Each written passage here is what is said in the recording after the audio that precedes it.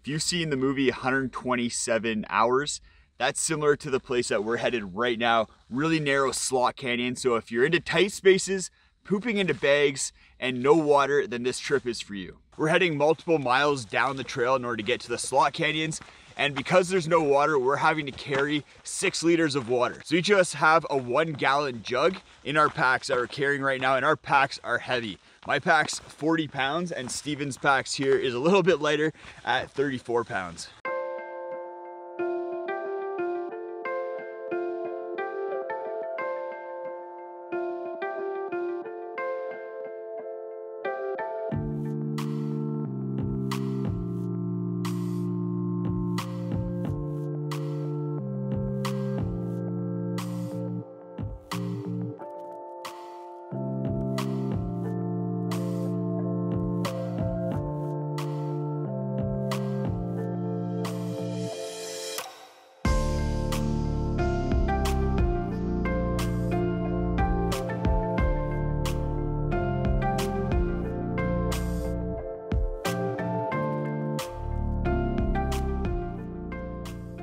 We're just stashing all of our gear behind this tree here.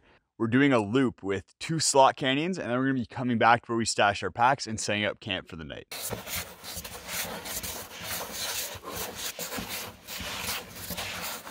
a good thing I had a good poop this morning.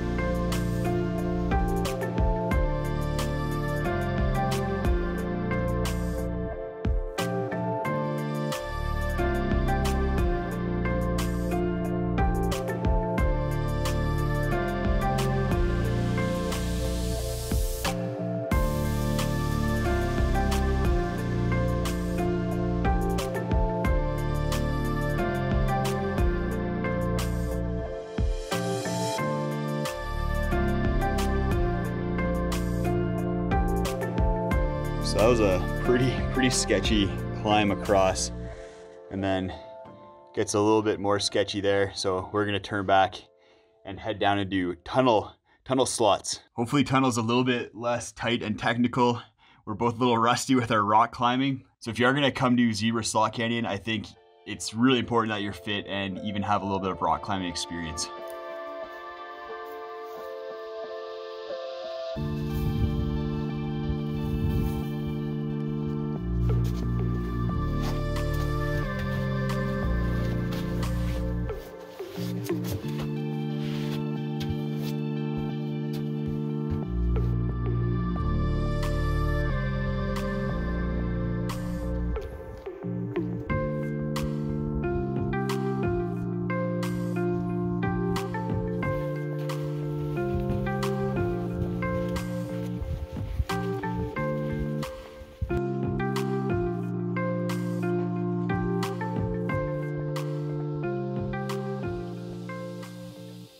We're heading back to camp.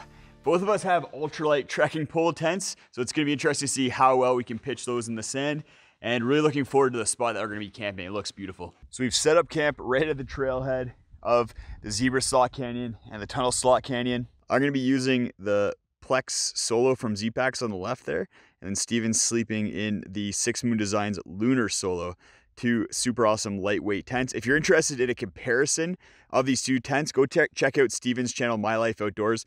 I'll have a link to his channel as well as both these tents in the video description. For dinner tonight, I'm gonna be having Peak Refuel Homestyle Chicken Rice. I've had this one before. It's really tasty, nice and creamy. I'm gonna be cooking that up with my pink titanium spoon. I won't actually be cooking with a pink titanium spoon. While it is hot, it doesn't actually produce any heat. But I'll be using my Soto Windmaster stove that I've been testing out on this trip. It's been working pretty good. There's definitely some things that I don't like, and I know the Soto Windmaster aficionados are gonna probably give me some hate for that, but it does boil up water really quick, which is awesome. Thanks for coming on this trip with us. Go check out this video right up here for a three day backpacking trip that we did just down the road from here to Coyote Gulch. It was an epic trip with some amazing geology.